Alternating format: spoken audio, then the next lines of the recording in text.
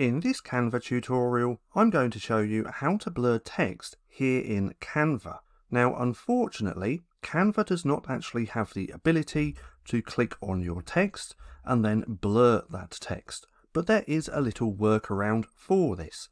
Now, once you have your design created and you have some information that you want to blur out, for this example, we're going to blur this out just here. What we want to do is come over to Share, and then we want to download this image. Now we need to download this because this is the only way that we can actually blur text.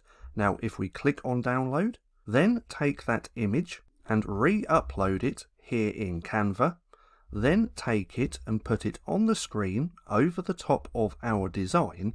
We then want to crop to the part which we want to blur out. Again, for this example, we're going to do this text just here. So we're going to crop that in like so. Then we want to remove the previous text which was already there. So we're going to click delete and now we can click on the part that we want to blur which we have cropped. We can come up to edit photo just here. We can come down to blur and then we can play around with the intensity until we have the blurriness that we like. Now, if you don't have the newer version of Canva, so in fact, let's go back, so this is not blurred. Let's go back to right here, like so.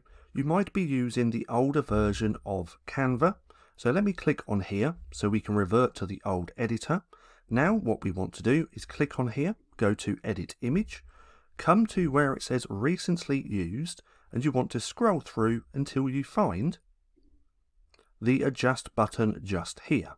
If we click on here, we can then come to blur, and then we can blur it that way as well. So that's how to blur text here in Canva. Now, if you want to use the newer version of Canva, you can simply click on this message just here where it says check it out, click get to the new editor, and then you'll be brought to here. And again, that blur function is just there.